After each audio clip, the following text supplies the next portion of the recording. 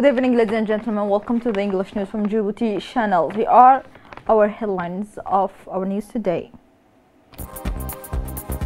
The main titles are the President of the Republic, Excellency Mr. Ismail Omar received the letter, presidential letters uh, from the Embassy of Japan. On continental news, more than 50 million cases detected uh, in the worldwide.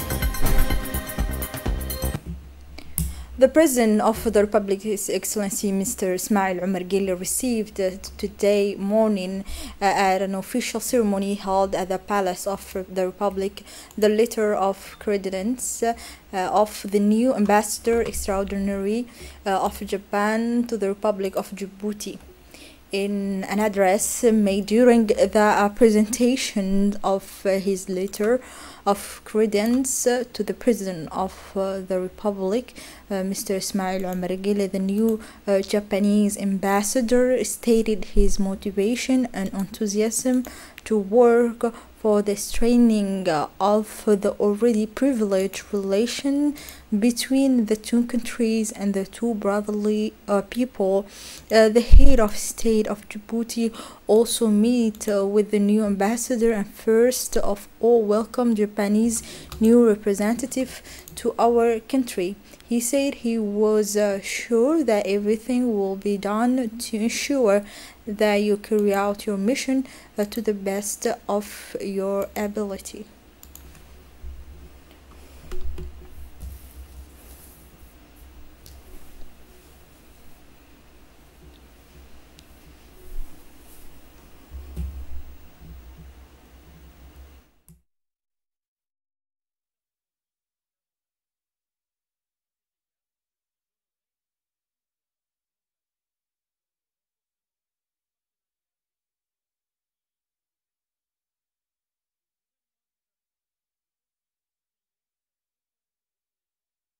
Concernant votre soutien résolu aux forces d'autodéfense japonaises présentes sur le sol djiboutien, le Japon continuera à leur déploiement pour promouvoir un espace indo-pacifique libre et ouvert. Par ailleurs, je me réjouis de nos relations de confiance renforcées par la coopération que nous menons afin de promouvoir le développement socio-économique de Djibouti. En plus, je suis pleinement prêt à œuvrer de mon mieux afin de renforcer le lien économique comme proposé dans la TICAD 7 qui met le business au centre du développement. And after the President of the Republic received uh, the letter of credence of the new ambassador of Japan, uh, they discussed uh, the bilateral relations uh, between the two countries.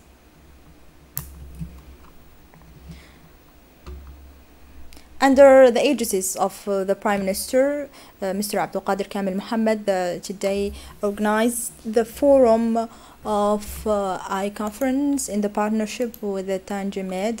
Uh, the uh, more uh, than 350 uh, professional including major uh, player in the sector transport operator engineering and design firms bank insurance uh, companies and private investor uh, took uh, part at the ceremony.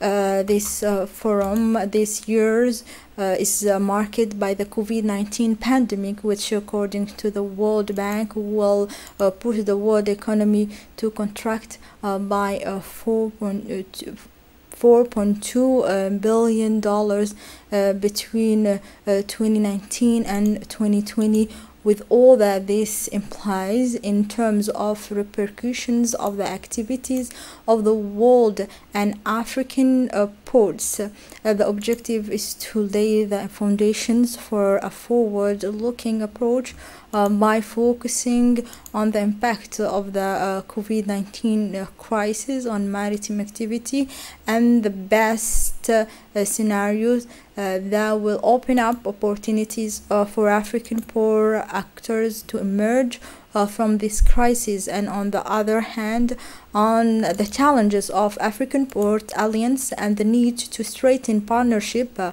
uh, these two days will be an opportunity to exchange uh, the to debate on the development impact of ports on the and the land to find the best approach to improve their competitiveness and finally the crucial issue of digitalizations. Uh, the president of the authority poor, uh, Mr. Abu Bakr Omar, had stressed the importance of the Africa Forum and he said, According to the recent figures released by UNCTAD, the world seaborne trade represents 90% of the global trade by volume and 90% on value. Africa has a heavy reliance on shipping, ports for its intercontinental trading. With one third of the African countries land-linked to no say landlocked, coastal countries have a and even more critical responsibilities to serve these countries. With Africa, trade represents only 2.7% of the global trade. The continent contributes to a higher share of the world seaborne trade with 7% for export and 5% for import. Connecting more African countries to the global trade will, will, will further increase that share. Connecting more African countries to the global trade will further. However, the interland transportation network need to be a support this effort. Land-based infrastructure, road and railway remain the physical barriers to a more enhanced integration and continuity in the continent. Over the past couple of decades, Djibouti has implemented several ambitious infrastructures projects to meet ever-increasing demand in the region. Djibouti is set at the cross, cross, crossroad of the three continents and is located at, uh, along two of the world trade routes in the world. Furthermore, as the international shipping industry carries about 90% of the world trade, Djibouti has a special responsibility to provide access to the sea to its neighbors, many of which are landlocked, and thereby connect them to the global market. The Minister of Transport said that the forum is an opportunity that our continent offers to investors. It's a great pleasure, privilege and opportunity for me to participate and give a keynote speech in this year's edition of the African Ports Forum on behalf of the Ministry of Transport of Federal Democratic Republic of Ethiopia. Greetings from the land of origins.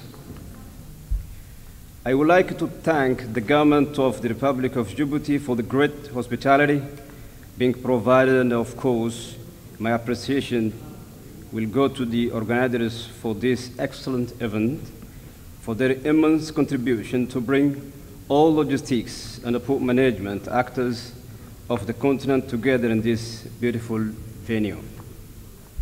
I believe this kind of forum would rapidly fasten the 26th Century integration agenda of the African Union as it paves the way to eff effectively utilize our common resources for a, for a prosperous future. Ethiopia, at the seat of the African Union and as one of the founding member states, is committed to realize this integration agenda through supporting and participating in, infra infrastructure development and utilization endeavors, such as common utilization of poor facilities and the continent. In addition to the infrastructure-related integration strategies, utilization of additional pool facilities through corridor development, schemes could hopefully benefit the continent. As you all are aware, the global COVID-19 pandemic had impacted the logistics sector significantly as porters, shippers, suppliers, and importers have not been able to provide services in full scale. Despite the pandemic's worst woes, the governments of Ethiopia and Djibouti have implemented different in interventions to, con to, control the spread of the virus, which helped the smooth delivery of medical items, foods, and industrial products from the origin to their destinations. The main, uh, the Prime Minister said that the main objective of the forum is to improve the performance of our ports. Durant les deux jours, nous serons donné l'opportunité. pays pour ce remarquable événement n'est certainement pas fortuite. It is interesting to know that our country's selection for this remarkable event is certainly not fortuitous. Indeed, Djibouti, by virtue of its positions on the world's maritime routes, embodies a central role in inter-African and international trade. This forum comes a few months after the official launch of the mega projects following the commissioning of the port of Doraleh Tadjourah, as well as the international free zone of PK23. Our country is therefore naturally gravitated by the holding of this second edition of the Women's Forum, which sees the active participation of a large number of port experts, several nationalities, and other high level entrepreneurs, whose common denominator is to agree on how to develop approaches to improve the performance and efficiency of our ports. This can only be achieved by pooling our expertise through privileged port cooperation uh, between African countries in order to develop strategies specific to our specificities and interests. The meeting held in July 2019, which was a great success, certainly marked an important turning point in the reflections carried out to provide our continent with ports that are equal to the ambitions of our states. These profound reflections have allowed, among other things, to highlight the historical evolution of port conditions and the failures that marked the 90s and 2000s. This period, from which we have learned some very interesting lessons, was illustrated by an imbalance of partnerships between emerging countries, whose economy is not yet consolidated on the one hand and partners imposing their own drastic conditions on the other. In conclusion, several African countries, including the Republic of Djibouti, have suffered greatly from the disastrous concessions resulting from this imbalance of power. For our country, this episode now belongs to a bygone era. The Minister of Transport said that, that uh, this uh, forum is uh, an opportunity uh, to uh, uh, to fight against the COVID-19. Nous serons donner l'opportunité de discuter, de consolider ce que nous avons. During the two days, we will give the opportunity to discuss and consolidate what we initiated last year, but also, as usual, with an analytical spirit to find the best way to build on the opportunities that our continent offers to investors, particularly in the field of the transport chain as a whole. Let me remind you that in this third millennium, Africa is lagging behind in a good number of promising sectors in terms of development. However, the African port sector has benefited from tens of billions of dollars of investment in less than two decades, thus increasing maritime traffic by more than seven times, with trade volumes quadrupling during the same period. This is reflected in the political vision of governments who have felt that the development of the sector depends on the support provided by their governments. It is translated in Djibouti by a vision of a man who from the outset saw bright perspectives for his country. All the decisions taken to develop the port sector and all the activities revolving around it are to the credit of the President of the Republic, His Excellency Mr. Ismail Omar Guelleh. The said years of hard work have been followed by a resounding success uh, which has allowed the development of the ports and its industry and all the companies which benefited from this booming sector. The current projects reflect the good health and confidence in the port system that has been put in place. We have invested massively in infrastructures and have made the development of our logistics platforms a priority. In addition to this, our ambition is to become an international maritime hub, providing all services related to logistics, transport of unloading, salvage, ship repair, and crew change. The Minister of the Interior, Mr. Mumin Ahmed Sheikh, visited the new headquarters of the National Office uh, for Assistance to Refugees and disaster victims uh, ONARS uh, located at PK uh, 13. The minister uh, was accompanied by the executive secretary of uh, ONARS, Hussein Hassan Darar, and the UNHCR representative in Djibouti.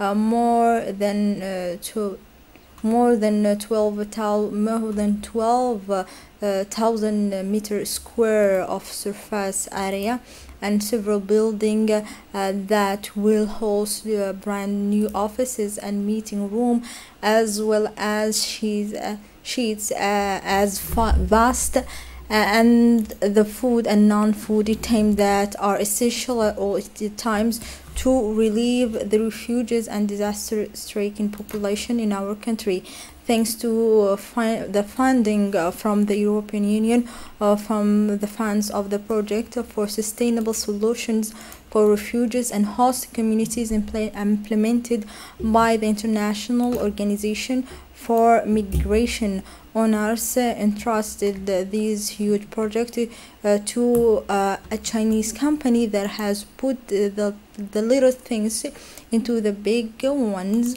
Uh, work on the site is uh, progressing at a very high speed, which pleasantly surprised the minister and the official. Chinese engineers and site manager offered a guide tours to the minister and officials who appreciated uh, all the achievement.